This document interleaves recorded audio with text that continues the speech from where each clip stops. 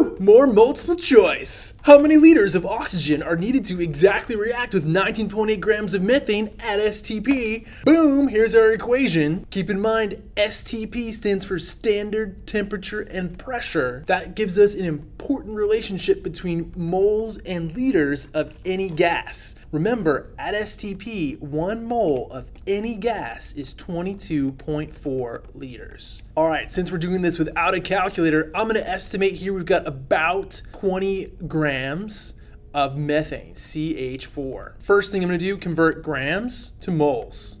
Molar mass of methane is about 16 grams. I'm gonna go from moles of methane to moles of oxygen. The relationship, two to one, given to me in my balanced chemical equation. Next, gonna go from moles of oxygen to liters of oxygen.